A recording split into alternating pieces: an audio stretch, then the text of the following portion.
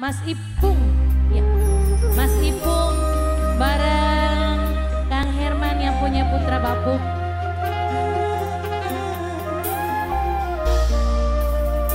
Angger